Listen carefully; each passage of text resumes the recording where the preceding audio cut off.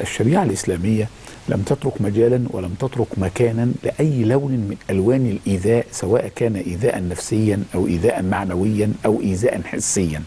فانتهى الأمر عند ذلك الحد. النبي عليه الصلاة والسلام بين أن المسلم الحقيقي الذي هو مسلم فقط يعني لسه لم يتق... لم يترقى إلى درجة المؤمن ولا المحسن ولا المخلص ولا المتقي لا ده المسلم بس.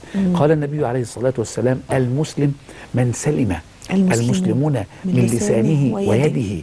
والنبي عليه الصلاة والسلام خص اللسان والذكر لأن غالب الأذى يكون بالإيه؟ باللسان وبالإيه؟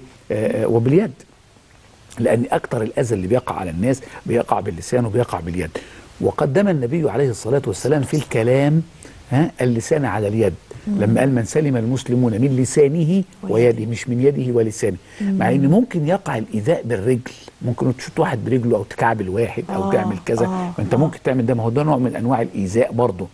لكن النبي عليه الصلاة والسلام ذكر اللسان واليد لأن غالب الأذى وأقرب حاجة في الأذى بيجي باللسان وباليد. نمرة اتنين اللسان قدم لأن اللسان الحقيقة الإيذاء بيه يشمل الماضي ويشمل الحاضر ويشمل المستقبل. يعني؟ الإيذاء باللسان. يعني ممكن في مجلس واحد واحد يعمل يقول بلسانه كلام يجيب الماضي والحاضر والمستقبل. آه، آه. ومثال ذلك هضرب لك مثال.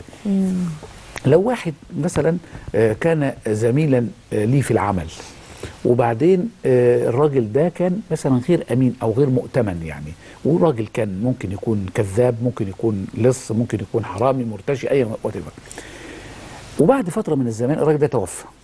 مات أهو خلاص خلصت. آه. بعد فترة من الزمان جاء ابنه يتقدم لبنتي أنا. آه.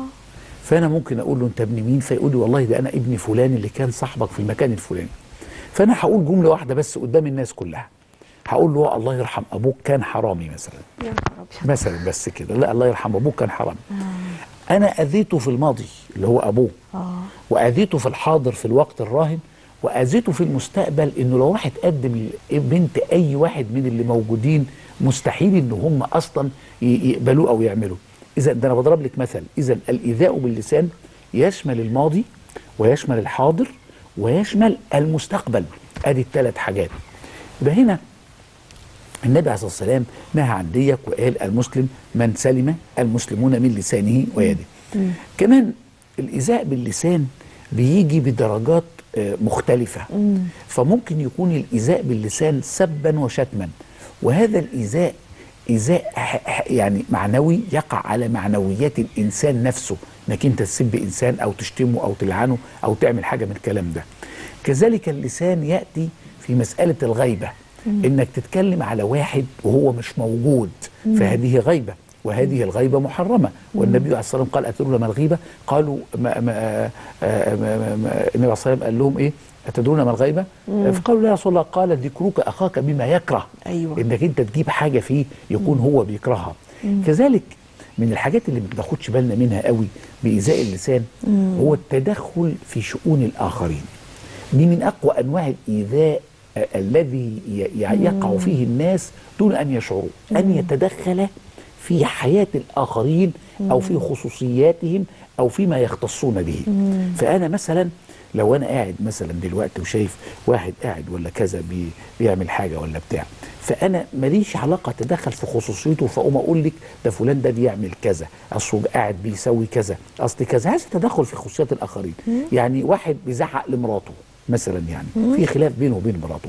أنا إيه دخلي إن أنا أقول إن هو هي اللي عملت ده في ناس ده في ناس لا، ده بتنسج البيوت- القصة كاملة. طبعا. اتفضل. البيوت بتبوظ بسبب كده يعني. أيوة. ممكن أخت تتدخل في حياة أخوها. نعم. فتقول له مراتك سايبها مثلا بتعمل كده ليه أو مديها ده ليه؟ آه. قصص. أو أو أو زوجة تتدخل في حياة أخت جوزها. فتقول له أنت سايب أختك. يعني الدنيا بايظة بسبب التدخلات دي. بالظبط. التدخلات دي عي- عين الأذى. أيوه. صح؟ أيوه. عين الأذى هو التدخل. آه. يتدخل في غير. وربنا قال في القرآن والذين يؤذون المؤمنين والمؤمنات بغير ما اكتسبوا فقد احتملوا شو بيقول إيه؟ بهتانا. آه. واثما عظيما. القرآن بيقول بهتان. البهتان ده حاجة أصعب من ال... أصعب من الغيبة. آه. قال قالوا لي يا رسول الله أرأيت إن كان فيه ما أقول؟ يعني أنا بقول على فلان ده هي ولا غير. أعور ولا حرامي وهو فعلا كده. آه. فأنا قلت اللفظ ده. قال إن كان فيه ما تقول فقد اغتبته. آه. وإن لم يكن فيه ما تقول فقد بهته. البهتان أمر أعظم في العقوبة وأعظم في وأعظم في الجرم نفسه. هذا جرم أكبر. ليه؟ لأنك أنت عملت حاجتين. اغتبته ذكرته في غيبته دي واحد. نمرة اتنين وصفته بما ليس فيه. فأنت كده عملت لي مشكلتين.